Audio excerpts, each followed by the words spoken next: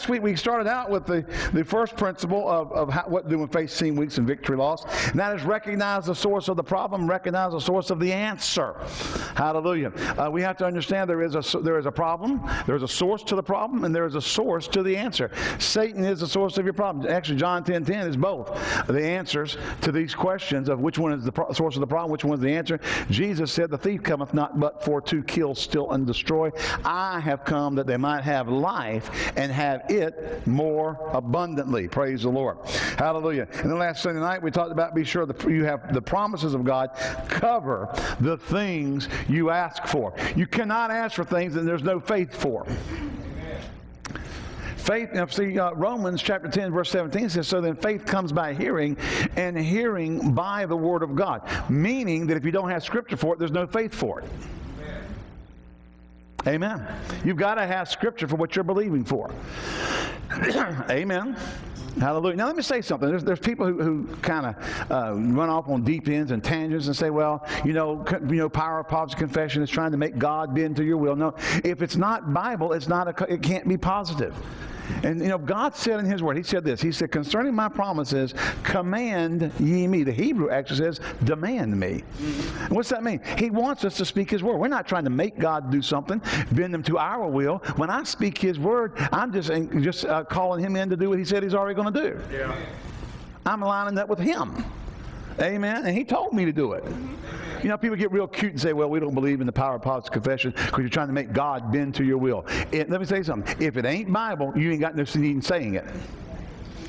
Now, some people get flaky and some people do some stuff, but I'm telling you, we don't teach that. We teach that you speak God's word. You got to have scripture that covers the promises you're believing for or the things you're believing for. You got to find scripture. Why? Because if you don't have scripture, there's no faith. Well, what if the Holy Ghost spoke to me? He'll line up with the Scripture. if the Holy Ghost is talking to you, it'll be in line with the written word. Amen. All right. Now, that's, that's, that was last Sunday. You have to go back there. Now, I'm going to get on one this morning you're going to say amen to when I say it. Jeff's already said amen to the fact that he ain't going to say amen. Hallelujah. But the third thing, see, listen, last week we talked about know who the source is, know who the answer is, have scripture that covers what you're believing God for. Number three, be sure you're not living in sin. Yeah. Amen. Now, um, I was reading from Tony Cooke last week in one of his uh, posts, and he was quoting some early, uh, somebody else from, from an earlier time, and, and I don't remember who it was. Um, you know, sometimes things are, you know, you can kind of go, well, that was really good, but I don't remember who said it. But he said this um, one of the biggest tricks of the devil is to try to get the church to believe that sin is not destructive. One of the biggest ch- tricks of the church, I mean, that Satan has against the church, is to try to get the church to believe that sin is not destructive. And, uh, you know, that's, that's dangerous ground. I said, that's dangerous ground. Can you say amen? If you believe that sin is not destructive, you're fooling yourself. Now, no, we're not here to preach and put you in condemnation about sin. Your heart's already done if you're in sin. You're right. Look at first. I mean, look over in um, uh, First John chapter three, verses twenty-one and twenty-two. It says, "Beloved, if our heart condemn us not, yep. then we have confidence toward God." And whatsoever we ask, we receive of Him, because we keep his commandments and do those things that are pleasing in his sight. Now, I'm saying that if our heart condemn us not, see, the Bible teaches you basically this. If you're in sin, your own heart will condemn. God, well, God doesn't condemn you, but your own heart will. See, sin is destructive. Sin is a separator. Sin will enter in and keep you from being able to live by faith and do what God has for you to do. Yep. Well, you just don't want us to have fun. You know, I'm, I'm under grace. I'll get to that one. I got a good one for you this morning. Hallelujah. You know, I'm under grace. It don't matter. You know, I'm, I'm all I do because I got saved. I don't repent. I'm under grace. Do you know what? There's a whole chapter written to you. It's called Romans, the sixth chapter. Amen. There's a whole chapter written about that stuff. We'll get there too. Um, sin, your own heart would condemn you because it, know, it knows it's done wrong and it's, it, it brings an, an, an, inhibition between your ability to fellowship with the Father. Well, when, you, when you're there, you can't live in faith. You can't get into faith when you're in sin because it just short circuits stuff. Hello? Sin will short circuit your walk with God. Yeah. On your end. Well, we just don't need to, we need we don't need to condemn people. We need to teach people that the righteousness of God. That, no, no, no. We need to teach people when they sin, repent. That's right. Absolutely. Because they are the righteousness of God in Christ. And get things right. Not go not just kind of put salve. Let me tell you something. How many know this? you know, if, let's say if you cut yourself and you just put a band-aid on it, it'll still get infected under that band-aid. You might keep dirt and stuff out of it, but it's still going to get infected. What do you got to do? You got to put something on that to help kill the infection so it'll get heal up. And if there's an infection in the wound, it won't heal infected. The infection will inhibit the healing process. Sin is like an infection in your heart. You know, when, you, when you're trying to get right with God, it inhibits that restoration process. It's an inhibitor and it won't allow you to walk free. And, you know, how many of you ever had something you just didn't take care of like you should? You didn't put neosporin on it. You didn't do whatever, and uh, you maybe put a band-aid. Well, that's that's a patch. That's a patch. because the infection is going to keep. It won't heal up until you get rid of the infection in it. It'll just sit there and stay inflamed and swollen and won't heal. That's what sin will do in your life. And people want to come along and use grace. Now, listen, I'm not talking about all grace, but I'm talking about some of the stuff people are preaching now. They want to take grace and just put it on there as a band-aid and not deal with the infection that's there. And the person, their own heart's condemning them. And you come, oh, you don't need to repent. Just declare you're the righteousness of God in Christ. It doesn't matter what you did because you're under grace. You know, all you've done is put a band-aid on it and they're going to sit there sore and they're going to sit there not healing up they're not going to be getting right when all they got to do is put on put the blood of jesus on it and confess it and let him forgive them and then you can put the band-aid on it of grace and let it heal up let, it be, let the restoration take place Amen. Instead of trying to convince them that, I don't know why people want to convince people not to do what the Bible says. Hello. Right. If we sin, we have an advocate with the Father. Thank God. It didn't say if we sin, don't worry about it. It didn't say if we, if we sin, just act like it didn't happen. It says we have an advocate with the Father. What is it? He's, he's the one who argues our case. Mm-hmm. You know what I mean? I've got a court appointed attorney who will go in before the Father and argue on my behalf if I sin. We're going to get there. All right. In Genesis, the third chapter, we know from Genesis chapter 3, verses 7 through 12, um, the, and, you know, the eyes of the, I, I don't want to read all that because it's, it's, it's, just, it's the fall of Adam and uh, Eve in the garden.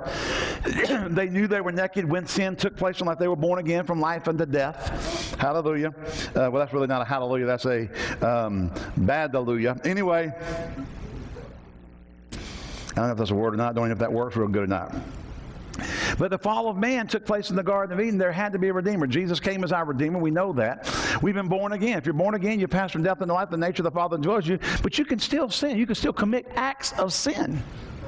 And those sins, those acts of sin, will inhibit you from your and, and, and, and short circuit and derail your walk with God. Now, people don't like to hear this. They want to hear, I'm under grace. It doesn't matter. We don't talk about sin because all I do is I look at the finished work of Jesus. Well, if I'm looking at the finished work of Jesus, what am I, what am I going to have to do? I'm going to have to look at the finished work of Jesus and say, He went to the cross and took my sin nature.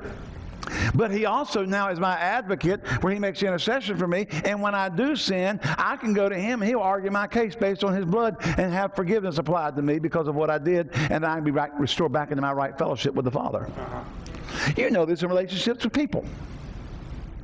Now, I'm just going to give you one that, that probably everybody in this room has experienced at some point in time in their life. You're sitting somewhere talking about somebody. I ain't talking about good talking. I'm talking you're talking about somebody.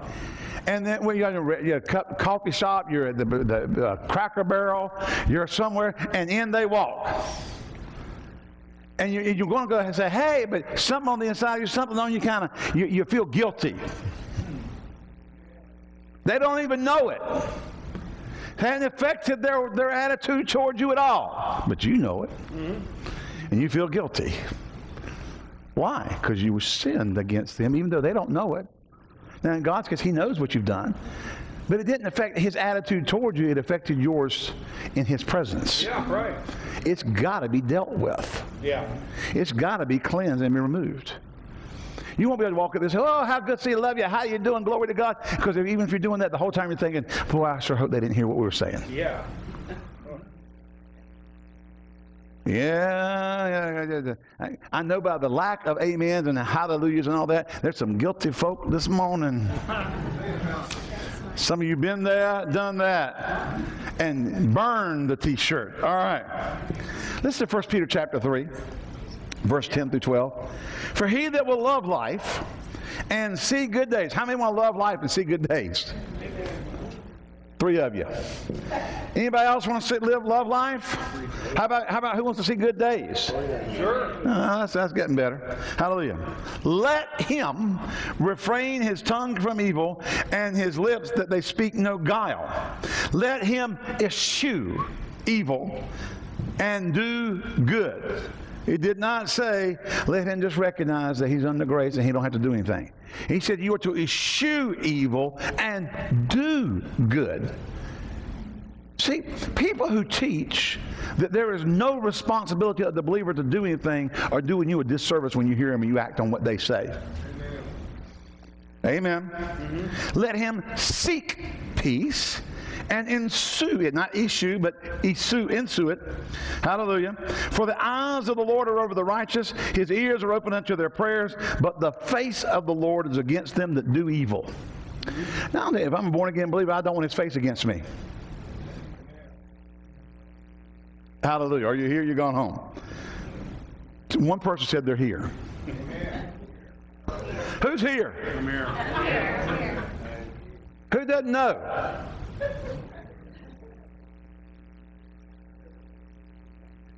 My son doesn't know if he's here or not. I mean, you can tell the, the, the, anointing from singing the song to, he don't even know if he's here sitting in the All right. Let's get to Romans, the sixth chapter. If you're going to love life and see good days, you're going to have to eschew evil and do good. Amen. You're going to have to um, have your tongue, keep your tongue from evil. Your lips will speak no guile. You're going to, to seek peace.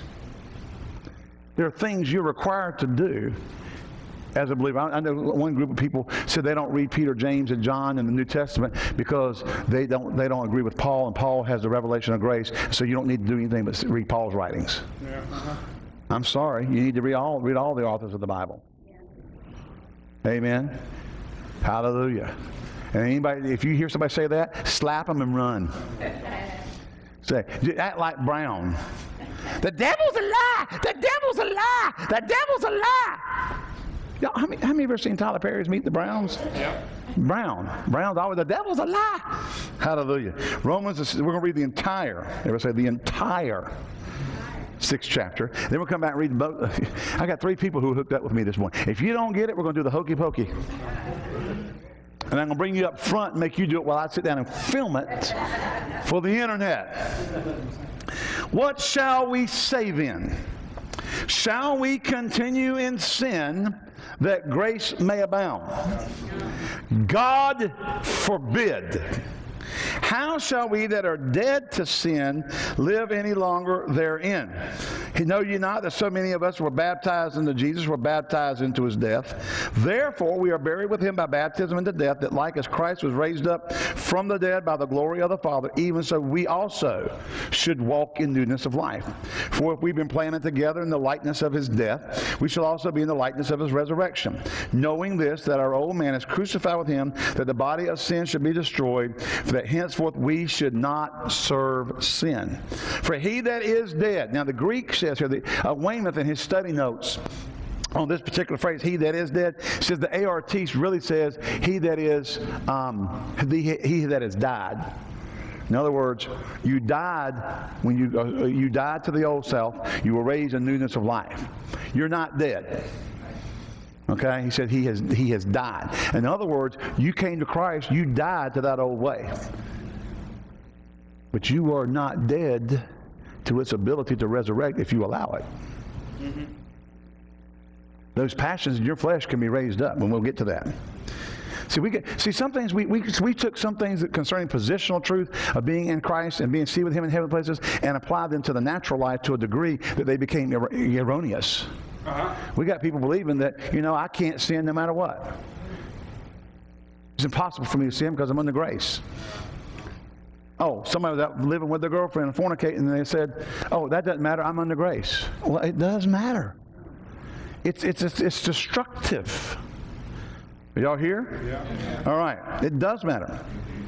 He that, uh, that has died is free from sin. Now, if we be dead, same thing here, same tense in the verb. If we if we uh, have died with Christ, we believe also that we shall live with Him, knowing that Christ, being raised from the dead, dieth no more, death hath no more dominion over Him. For in that He died, He died unto sin once, but in that He liveth, He liveth unto God. Likewise, reckon ye also yourselves to be dead or have to have died unto sin. Ooh, reckon. If you have to reckon something, it means it's still hanging around. And if you don't deal with it, it'll overtake you. Ah, that goes against my righteousness teaching. You better go back and study your righteousness teaching properly. We, we, people taught some stuff. They said Dad Hagin and those guys taught that they didn't teach. Hello? Thank you for your enthusiasm. All right. Likewise, reckon ye also yourselves to be dead unto, in, indeed unto sin, but alive unto God through Jesus Christ our Lord. We have we have to do something about it. We have to say, no, I, I, I, died to that. It no longer has dominion over me. We have, to, we have to actively be against those things. Amen? Hallelujah. Listen to this. Verse 12. Let not. Does that sound like action or resting? I just look at the finished work. He said, let not. Don't let anybody in.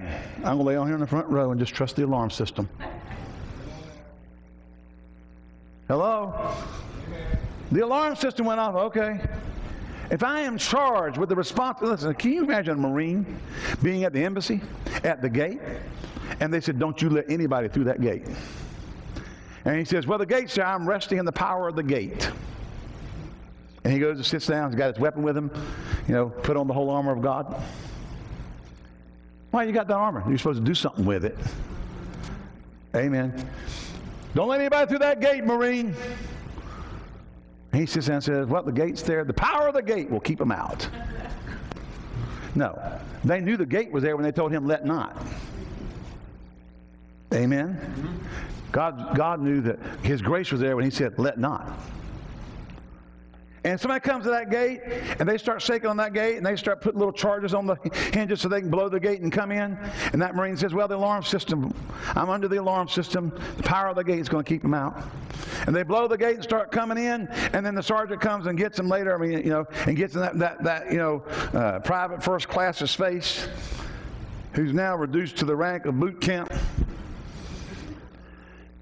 heading to Leavenworth. Hallelujah. Are you here? And says, Why did you stop him? I was resting in the power of the gate. The gate was there. It was to keep them out. And I just looked at the finished work of the guys who constructed the gate and said, That's enough. Marine, I told you to not let anybody through that gate. That meant he had to take action. And if they blew that hinges on that gate, he was to unload his weapon in them as they came through it. Are you here? The Bible says, Let not therefore sin reign in your mortal body.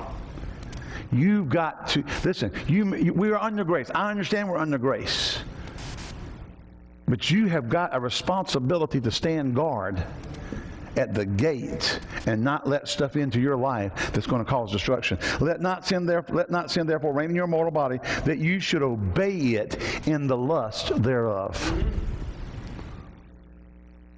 Church, stop listening to these yin yang yo yo brains who are telling you it doesn't matter what you do it is destructive to you it will hurt you it will it will bring misery to your life eventually It'll bring destruction to your life. Now, I'm not trying to condemn you. I'm trying to tell you if you want to walk with God, if you want to see good days, amen? Yeah, yeah. Hello, are you here? If you, if you want to love life and see good days, you're going to have to refrain from stuff. And you're going to have to say no to stuff. And you're going to have to stand at the gate. Grace may be the gate, but if you open the door, let the enemy come in and don't do anything about it, he'll run over your life. All right. You've been charged by the Word of God, by the Apostle Paul, the preacher of grace, as it were. You've been charged by him to let not sin reign in your mortal bodies. That means it can. Yeah, right. it can be it can be in your mortal body. Hello? Let not sin therefore reign in your mortal body. What? That you should obey it and the lust thereof. God doesn't want you obeying sinful lust. Mm-hmm. Are y'all here? Mm-hmm. Don't want you shooting up, smoking dope, getting drunk. Hello? I'm free to drink all I want to drink. We'll get to that. Hallelujah. I, I, don't really think so. Jesse posted a real interesting post yesterday. You know, all the Europeans say that it's a cultural thing that they can drink over in Europe and all that kind of stuff. You know, you can be a Christian and drink. It's just a cultural thing in America. We don't. Did you know that they have the highest rate of alcohol-related deaths in Europe than anywhere else in the world? And people between 15, 15 years and older drink at least 60 grams of alcohol at each uh, episodic drinking session. That means when they sit down to drink, they drink at least 60 grams of alcohol. And they have the highest related diseases and deaths attributed to alcohol of anywhere else on the planet. But it's cultural. I think that might be a weak argument. Hello? That went over big. Y'all, here? You're going home. Now, Let's go on, get back down here. Let not sin therefore reign in your mortal bodies, that you shall obey the lust thereof. Neither, listen, neither yield ye your members as. Why is Paul telling us not to yield our members? Because we can. Oh no, I'm under grace. It don't, Paul said, don't do it. If you can, if you would not be instructed not to yield your members if you couldn't. God don't put stuff in the Bible just to take up space. God doesn't give us instructions just because he didn't have anything else to do that day. There's enough going on in our life without unnecessary commandments in the Word of God. Hello? Without redundant scriptures that mean that are meaningless since they don't apply to us anymore. I have no value to us at all. Well, the pastor of the Old Testament don't apply to us, and they were written for our examples. Right. All that stuff was written as an example to you. Go think about Israel. Every time they worshiped and kept their, their lives clean before the Lord and, and, had a heart for God, things went well for them. The minute they started chasing after other gods and got into sin, things went bad for them. That was written as an example to you. It's not there just to give us history. The Bible says they were the things concerning Israel were written. The King James uses the word ensamples. Basically means example. They were written as an example to us, not to the unbelievers, to the church. So, what does that tell me? That tells me when I look at Israel's existence and how they did things, I can learn from them what to and what not to do so that I don't get, so I can either get the results that I want or not get the results that I don't want. And when they when they went a whoring after other gods and they got into sin and they started rejecting the commandments of God, they got into trouble. Yeah. And it brought curse on them. But when they turned from those things and tore down the groves and turned their hearts toward God, good things happened to them. Mm-hmm. That was written as an example to us. We just can't throw that out. Well, that's Old Testament. No, but it was written as an example. The, the New Testament said it's an example for you. Uh-huh. What's that mean? Listen to it. Learn from it. Learn, Vern. Amen. Take a hint. There's something in there for you. We don't like people don't like to hear that kind of stuff. They don't want to hear, you know, any responsibility. I'm telling you, this this lack of responsibility is of the devil. It's a worldly mindset. It did not come from God. Right. It's a good place to say amen. Yeah. Think of, think of what's going on in our, in our world, in our country. Nobody's responsible anymore.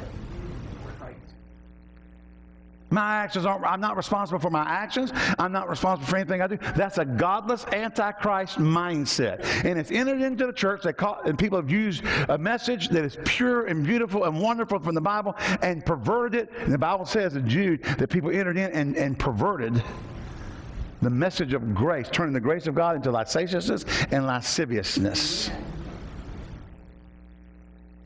They turned the grace of God into something that it wasn't. Yep. And they did it back in Jude's day. Wow, same devil's running around. I said the same devil's running around. All right. so we have to understand that, that, that these things are destructive to us. They hurt us. They harm us. They, they, bring, they bring bad things into our life. Hello? They mess up things. Amen. Neither yield ye your members as instruments of unrighteousness unto sin, but yield ye yourselves unto God as those that are alive from the dead, and your members as instruments of righteousness unto God. For sin shall not have dominion over you, for you're not under the law, but under grace. You see people jumping and take that one scripture out of place and go run off with it. What then?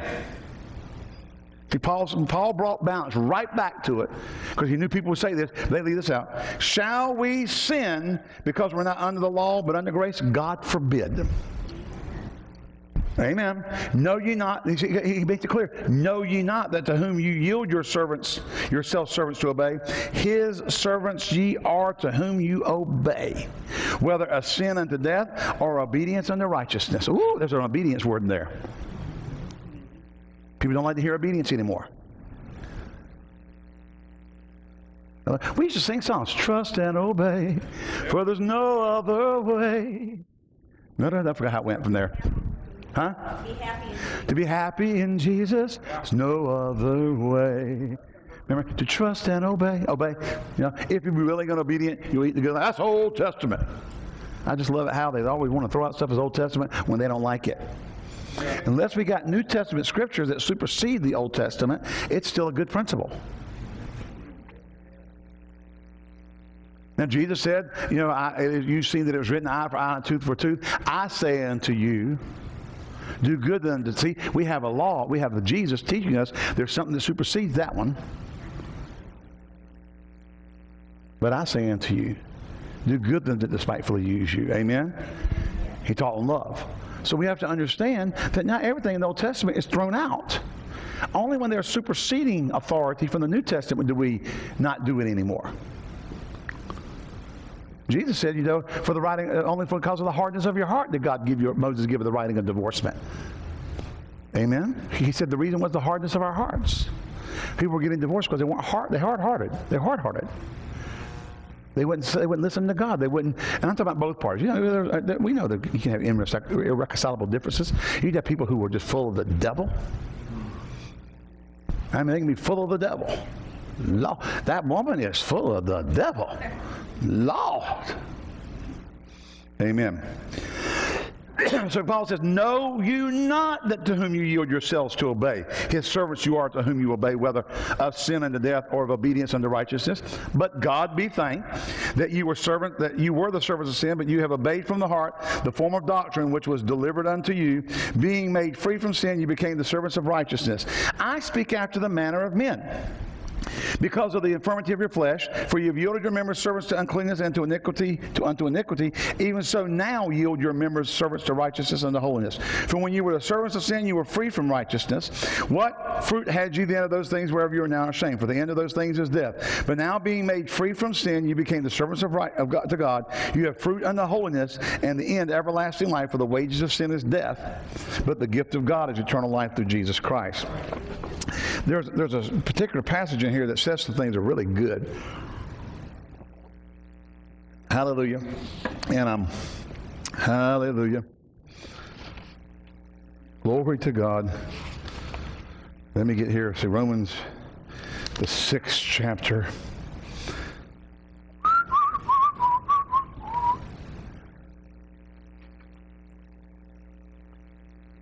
Glory to God. I was I was reading this in, in, my office this morning before I came out, and um,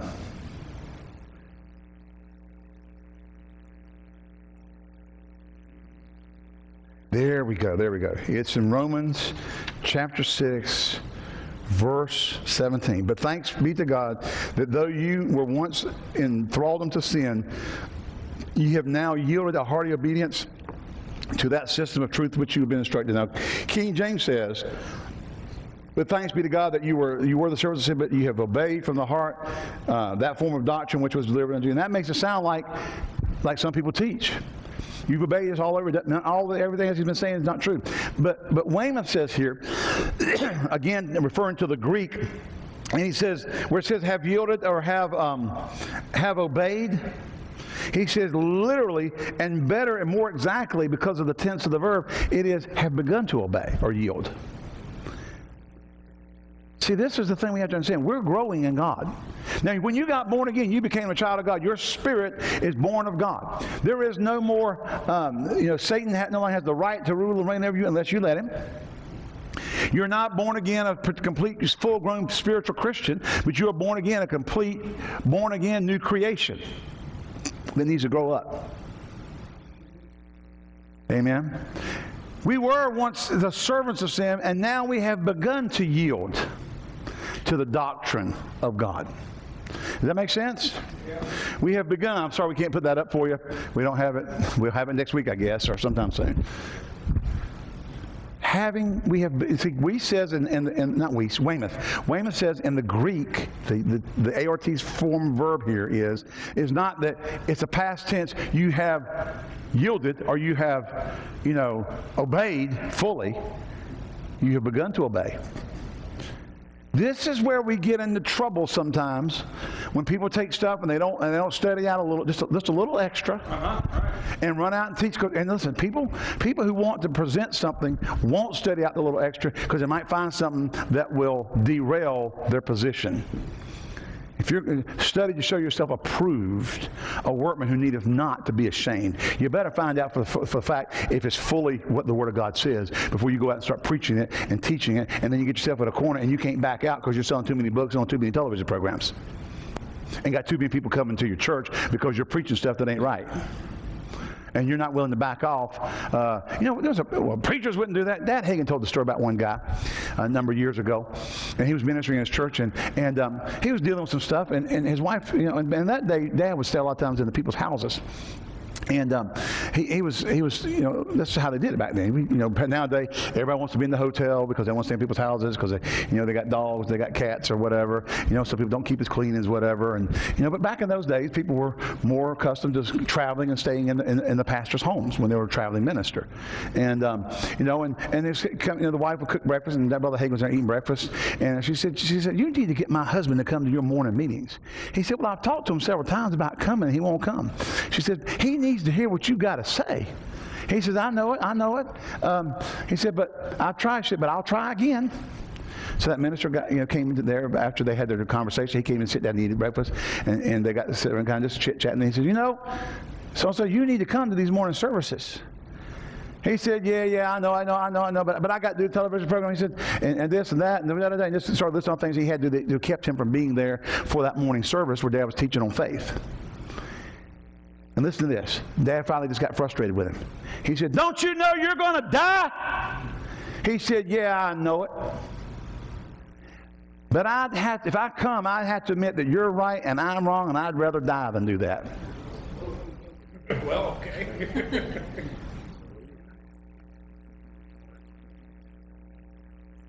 Don't you, you see people's pride will keep will keep them teaching if they know is wrong just because they don't want to admit they're wrong. Yeah.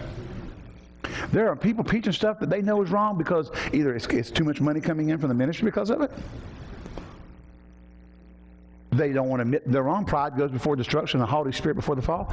Dad, Dad said, I'm closing the meeting down this week. Went to the next church because how he did it back in those days was when he finished the meeting, he called the next pastor and said, I said, I'm coming to you next. Can we start Sunday? And they'd say, yeah, and he'd go to that next church. That's how he did it in those. Now, now you, some people booked up two or three years in advance, you know, and, and if God wanted them to go somewhere, they, they, they'd, have to, they'd have to nuke Hawaii to be able to do it. I mean, you just, you just can't do it because the way people do stuff. And he got to that church. He said, now, I was just over so-and-so's church. He'll fall dead in his pulpit two weeks from Sunday. So when you're a prophet, you, hear, you see things in the spirit. Yeah.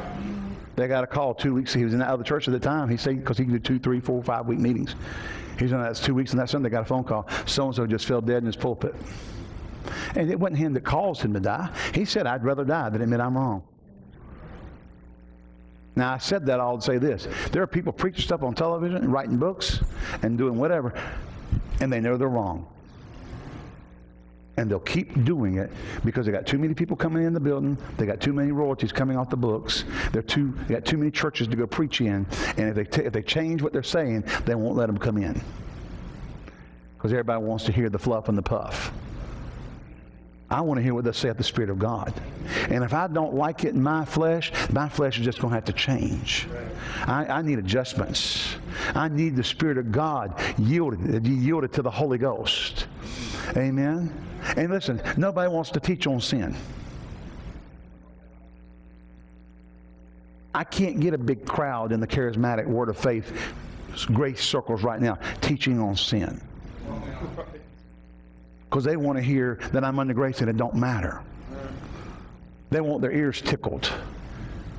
But you know what? The Bible talks about people who heap unto themselves teachers, having itching ears, ever learning, but never able to come to the knowledge of the truth.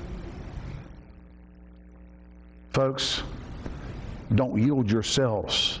You have begun to obey, but don't think the fact that you've begun to yield or begun to obey from the heart that that has established you in a place that it doesn't matter what you do. It will always matter what you do. It will always matter what you do. There's never going to be a time that it doesn't. Even in heaven, it will matter what you do. Don't you know that after a thousand year, year millennial reign of Christ, that Satan will be loosed to deceive the nations? And I, I honestly believe there are going to be people who are deceived when he's loosed.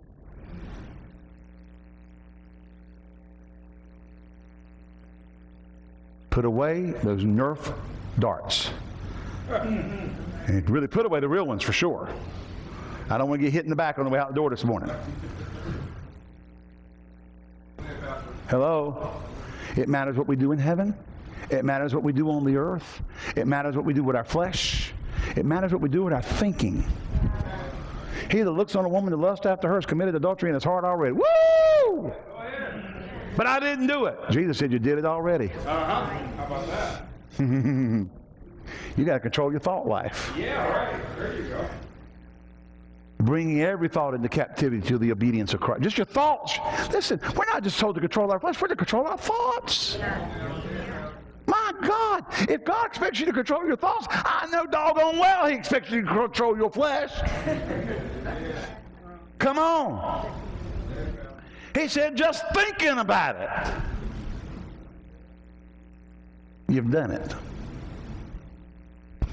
Now, you may not have the natural consequences of your thoughts, but you're still getting the spiritual consequences of your thoughts.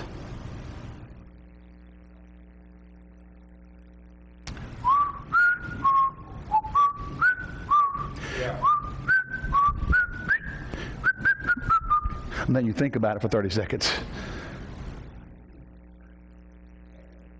The answer is obey God. Amen. He tells us not to yield. Because if you obey, if you yield, then you become the servant of sin. God does not want you serving sin. Right. Why? Because it's destructive to you. It's destructive to people around you. It hurts. Well, I love the Lord, but I'm smoking dope all the time. That's destructive. Well, I, I can love the Lord and be drunk. It's destructive. I can look at pornography on the internet. Nobody else knows it. Yeah, but Jesus said you've already thought about it, you've done it.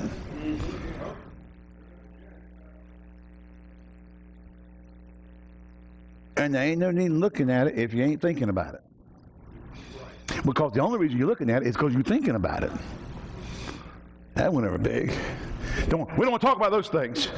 And then we say, we ain't just talking to men anymore. Now they're saying that there's been a rise in women viewing pornography.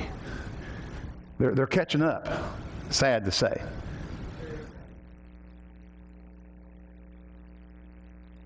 Can I get a witness? Yeah, I don't want to hear about it, do you? No. yeah, I didn't think so.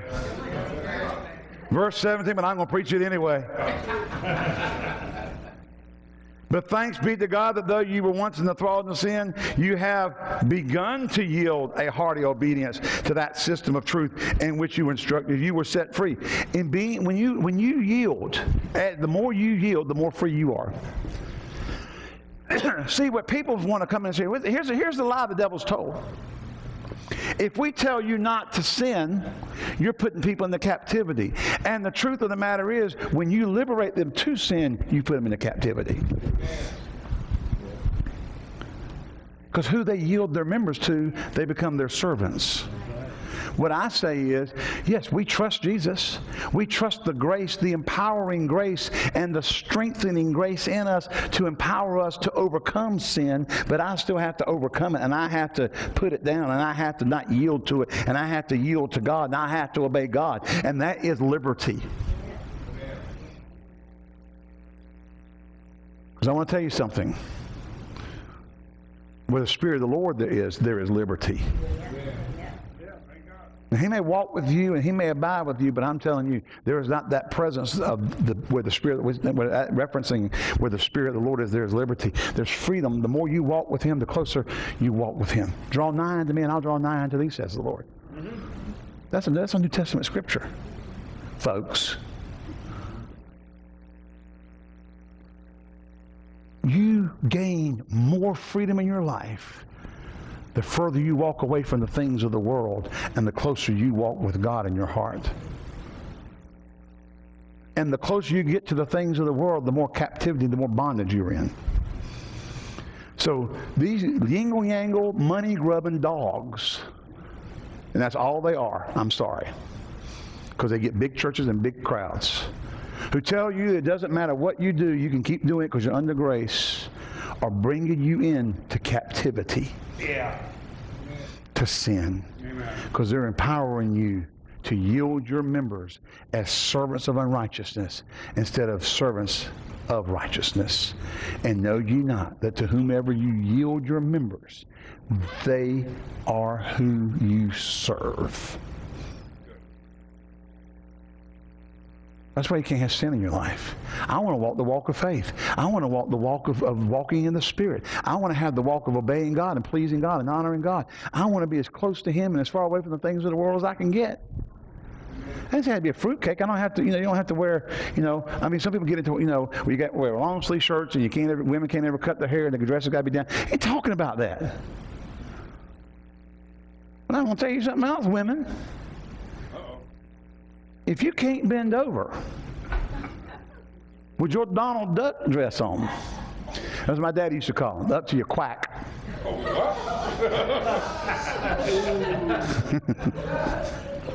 My sister come out, he go, you got that Donald Duck dress on again. She said, what are you talking about? It's up to your quack.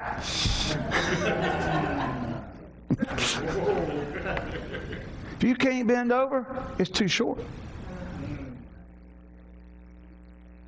Hello? I'm sorry.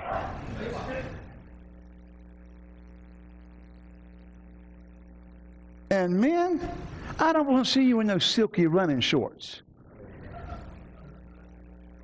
with your cheeks hanging out. See them running down the road. Who wants to see that? I'm buff. We don't care. It's easy, that's just, it's, it's, garbage. I ran in gym shorts, that you know, the longer gym shorts. I used to run in those all the time. Didn't bother me a bit in the world. And I'm not designed for long distance running. I don't have the long, skinny legs. I mean, really, even when, even when I was in my best shape, my legs just too, it didn't work real, it just didn't work real good, but I'd run, but I didn't put on them stupid shorts like that. And run down the road so everybody could see you, you back in hanging out your little flippy. You gone on talking about clothing. No. Yeah. See, when you walk with God, you're going to be modest in, in all things. Didn't say you got to be extreme, but you can be modest. And I've got some people in our, in our town that, that, the girl, the girl, the boys are out in shorts. The girl's always got that long jean skirt on down to her ankles, and it's real tight, so she can't hardly walk. You know what I'm talking about? You know, the girl, the girl has to, but guys can wear the shorts. I know, come on now. but I'm not talking about, you know, that we got to go back to the old beehive hairdos, no makeup. That, I'm not talking because, you know, Brother Hagin said, old barn needs a little paint. Dad said that. I'm just telling you what he said. Some of y'all didn't get that. Hallelujah. Yeah, a little barn needs a little, little paint every now and then. Hallelujah. So, you know, it's okay to wear makeup. Amen. Right. Took, took a passage of Paul and mis, misquoted it. But when you walk with God, you want to have a modesty of, of lifestyle about you. You want to represent Him. You're not trying to act as much like the world. I mean, listen, folks. This this crazy mess. You know, well, I'm a Christian. I'm going to reach. I'm to reach the radical people, and I'm going to get gauges in my ear. You're stupid. You got holes that big in your ears with some weight hanging on it. I'm going to reach those people. Acting like them ain't going to reach them. Jesus ate with publicans and sinners, and he still wore his rabbinical clothing. They weren't interested in his dress, they were interested in what he had. And I'm going to tell you something. You can dress like the world, act like the world, talk like the world, but if you don't have heaven residing in you in overflow, you can't help the world.